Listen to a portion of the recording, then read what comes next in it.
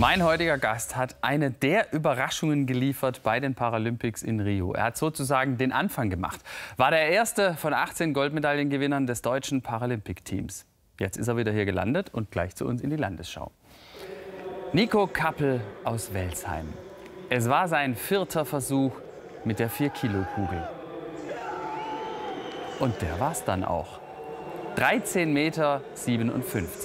Das war persönliche Bestleistung. Ein Zentimeter mehr als die Konkurrenz. Und dafür gab es dann die Goldmedaille. Der 21-Jährige aus dem Schwäbischen Wald im Freudentaumel. Auf dem Siegertreppchen steht man ja schließlich auch nicht alle Tage. Und hier ist er, Nico Kappel. Und seine Freundin hat er auch mit dabei, hat er mitgebracht, Luisa Holzwart. Herzlich willkommen, Sie beiden. Dankeschön. Hallo. Nico, Glückwunsch nochmal auch von unserer Seite. Und Luisa, sind Sie stolz auf Ihren Nico? Ja, auf jeden Fall. Sehr stolz. Und Sie haben, glaube ich, am, äh, am Fernseher mitgefiebert. Ne? Genau, Sie waren nicht dabei. Am Computer war ich. Am Computer? Genau, per Livestream habe ich es verfolgt. Und am Okay. Handy hatte ich auch immer noch ähm, die Live-Ergebnisse offen. Und da habe ich es dann auch erfahren. Ja. Wahnsinn, oder? Ja. Also wir haben auch alle gestaunt. Ich meine, Nico, es war ja schließlich ein Kampf äh, gegen einen ihrer härtesten Konkurrenten, den sie jahrelang eigentlich nie schlagen konnten. Und dann hat es ausgerechnet an diesem Tag geklappt. Ja, ja, eigentlich für alle der härteste Konkurrent. Ne? Also er ist ja seit vier Jahren, also dominiert er ja quasi ähm, unser Kugelstoßfeld, ne? ein Weltrekord nach dem anderen. Aber natürlich, ich bin immer näher an ihn rangekommen von Jahr zu Jahr und jetzt natürlich wahnsinnig glücklich, dass es dann beim größten Sportereignis dann gereicht hat, um ihn zu schlagen. Man hat ja so ein Gefühl. Ich meine, man spürt ja so ein bisschen Tagesform, wie bin ich drauf. Hatten Sie es so irgendwie in den Fingern, dass es heute vielleicht ein guter Tag sein könnte? Also ich muss ehrlich sagen, also ich war natürlich mega nervös, ähm, schon den Abend davor. Also ich Ja. habe ganz schlecht geschlafen, wirklich nur drei, vier Stunden, wenn überhaupt. Ähm, am Abend davor war ja die Eröffnungsfeier, die habe ich aber auch also verpasst, die habe ich vom Dorf aus angeguckt.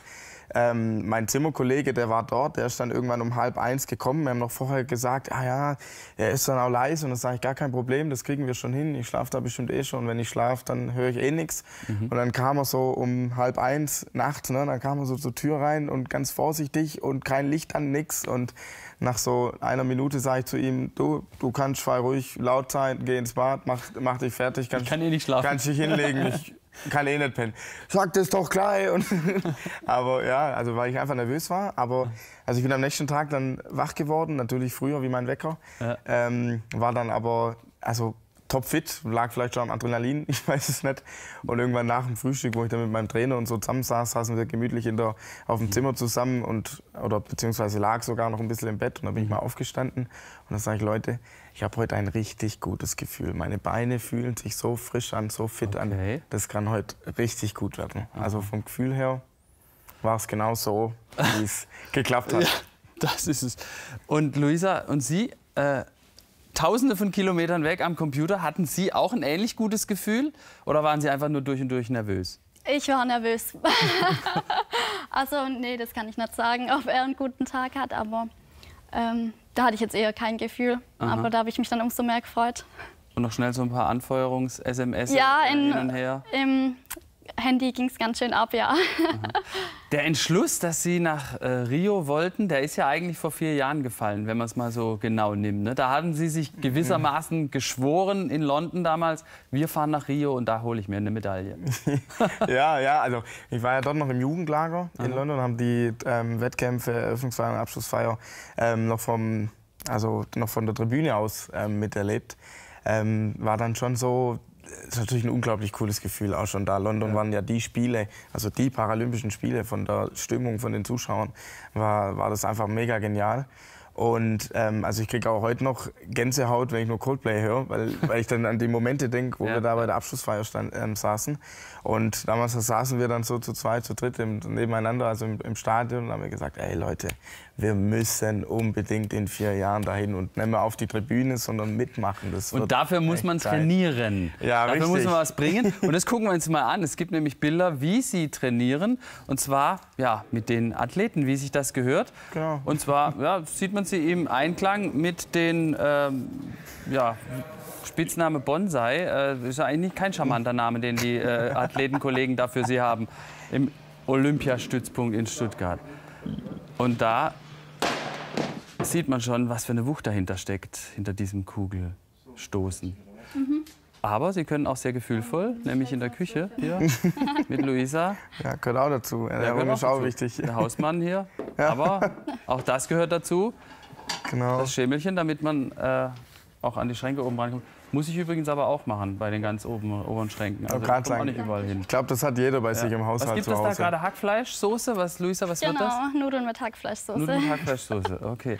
Und äh, also Sie sind 1,40, das äh, etwa, so genau, über Daumen. Kein Geheimnis. Nee, ist kein Geheimnis, steht überall. Ja. Äh, und wie ist das für Sie? War das nie ein Problem, dass nee. äh, er kleiner ist als Sie? Überhaupt nicht. Das war nie ein Thema, wo wir uns kennengelernt haben. Und es ist eigentlich ganz normal für mich. Aber ist doch cool, oder? Ich ja. Mein, ist es normal, für andere jetzt vielleicht nicht unbedingt. Ich weiß nicht, Sie arbeiten in der Bank in Welsheim. Gibt es da noch Kunden, die reinkommen und sagen äh, oder gucken, wo ist er denn, der Nico, und da irgendwelche Scherze machen oder so? Also ähm, die, wo man kennt, ähm, mit denen macht man, also die machen schon gern mal einen Scherz. Also die ja. wissen ja auch, dass ich das Vertrag, sage ich jetzt mal. Ja. Gut, die müssen dann auch aufpassen, die kriegen das dann auch noch mal irgendwann mal zurück oder kriegen das immer wieder zurück. Ne? Da, da gibt es eine Retourkutsche. nee, ähm, das passt dann schon. Aber also habe da keine Schwierigkeiten. Also ja, dass da irgendwie einer mal sagt, oh, okay, hm, will ich nicht oder was auch immer. Also passt, einwandfrei. Mhm. Und die beste Art, mit einem Leistungssportler zusammen zu sein, ist selber Sport zu machen. Ja, also ich gehe ins Fitnessstudio, okay. aber natürlich nicht so oft wie er. Ja, warum nicht? Ich meine, da könnte vielleicht noch was draus werden.